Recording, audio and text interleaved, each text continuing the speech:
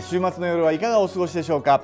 夜っくりウィークエンドね、もう ニューヨークの方はもう大雪だそうですけどね。ねこちらもポカポカですね。そうですね。あのこのまま夏に突入してしまいそうな雪ですね。すねもう LA で良かったですね。そうですね。はい。はい、えー、1月は今年がうさぎ年ということでいろいろなうさぎの話題をお伝えしてきましたが、最終日の今日は特集としてロサンゼルスのうさぎの現状をお届けします。ここはロサンゼルスのある一家坂本家です。子供たちと2羽のウサギがのどかな時間を過ごしています。このウサギたち実は坂本家に来る前は死と隣り合わせの場所にいました。1年前のことです。出会いには一人の女性が大きな架け橋となっていました。その女性はレイラ・ハジマトビッチさん。レイラさんはロサンゼルスの街角で保護されたウサギを治療し里親を探す活動をしていますきっかけはある街角でのうさぎとの出会い2008年のことでした When I went down for the first time in LA Fashion District, I saw the vendors, and then what got me, of course, it like my heart stopped when I saw those little baby bunnies, and I and they were trying to sell me and say like, hey, they're three months old. It's hard to actually prove animal cruelty when these bunnies look so wholesome and healthy and cute. They have like horrible diarrhea and that they're like dying and withering away.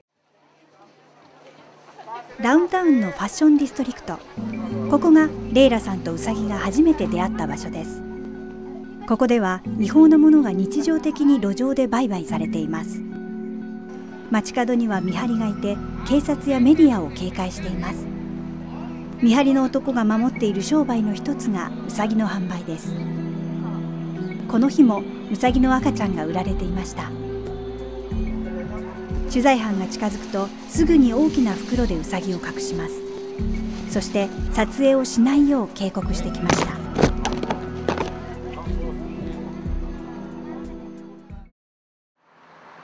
ここはアニマルシェルターです。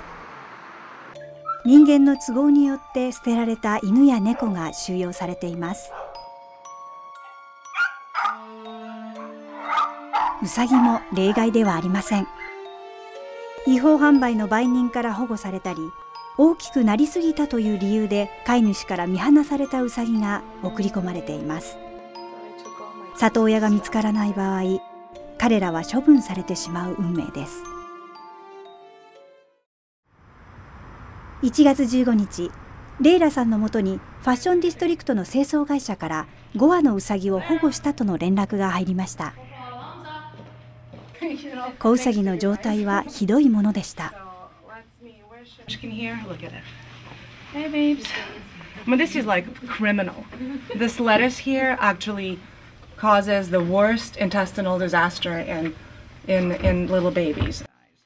この清掃会社では、レイラさんと連携を取り、ウサギをシェルターへと送り込まないようにしています。I mean, it's like barely eyes open. Look at. I mean, really. Here.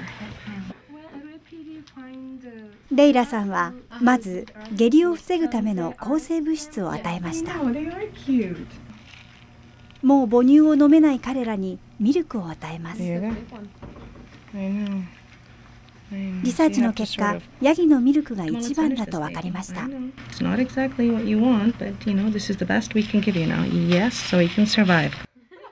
一命を取り留めた子ウサギは里親のもとへ引き渡されます。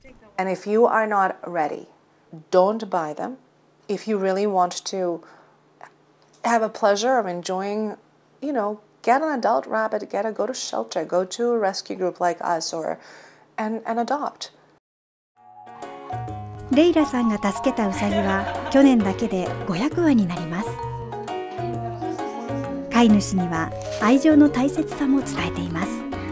ちっちゃい動物というよりは普通に家族っていう感じで。あ帰るんですけど、まあその時は一緒に行くかなって、パスポート持ってね。日本に帰る。無責任な人間の犠牲となる動物を救えるのは私たち自身ですの可愛いという気持ちだけで気軽にうさぎさんを買ってしまうと良くないのかもしれないですね。あのねでもこの間ねうちにもねうさぎ一匹迷い込んできたんですよ。はい、あんまり可愛いんでこうね人参あげたらね一袋食べちゃうんですよね。それ良くないらしいんですよ。うさぎにとって人参は高カロリーすぎてチョコレートと同じようなものらしいんですね。皆さんきちんと生態を勉強してからうさぎを買うようにしましょうね。ねはい、はい、さあ、えー、次はですね日経コミュニティの新年会の話題です。どうぞ。今月14日 JBA ジャパニーズビジネスアソシエーションの菓子交換会が行われました JBA は今年50周年を迎えることから例年を上回る420人の関係者が訪れました最も盛り上がったのは日本行き航空券など80個の豪華商品が当たるドアプライズ当選者は大きな喜びとともに商品を持ち帰っていました。最後に会員は全員でうさぎの日にちなみ飛躍の1年を迎えようと誓い合いました。また今月24日には第12回 JRA 米国日系レストラン協会の新年総会が開かれました。会では2年間会長を務めた植地克也さんへ新会長の畑野勲さんより感謝状が贈られました。畑野さんは今回が2回目の会長就任。挨拶の中で日本食レストランで外国人のオーナーが増加する傾向にあることからバイリンガルの積極的な採用を呼びかけました。中国語韓国語英語はもちろんだけどね。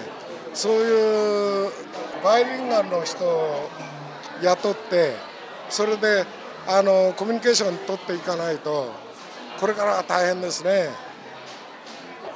JRA は今年11月にハリウッドでのフードフェスティバルを計画中で集客数3000人を目標にし今後のさらなる立地団結を呼びかけていました。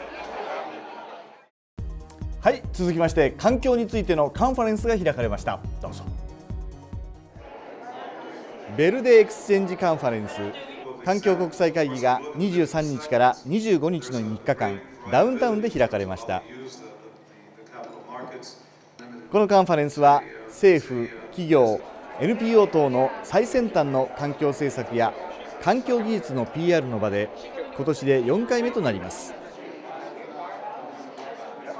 Our thesis this year is that California, more than ever, is the portal to the North America green economy, and that because of our elections and policies, that are different from the national elections for those companies looking for certainty about what the rules will be, what the regulations and incentives would be, California is the place. 今年も注目が高かったのがエコカー自動車メーカーの日産は電気自動車リーフを PR これは世界初の量産型モデルの電気自動車でカリフォルニア、オレゴン、ワシントン、アリゾナ、テネシーの5つの州で昨年12月から販売されています。So it has no tailpipe, it has no gasoline engine, and there's no emissions at all from the vehicle. Uh, so if you can have a clean source of power, it's, it's very uh, eco-friendly. 一方、日系アメリカ社は日本の環境技術をアメリカに紹介している企業です。ブースでは日系企業のパンフレットや商品を紹介していました。今年は初の国外でもあるトロントでも開催が予定されているこのカンファレンス。環境ビジネスはますます盛り上がりを見せそうです。以上ニュースでした。CM の後は今週の18.2のおすすめです。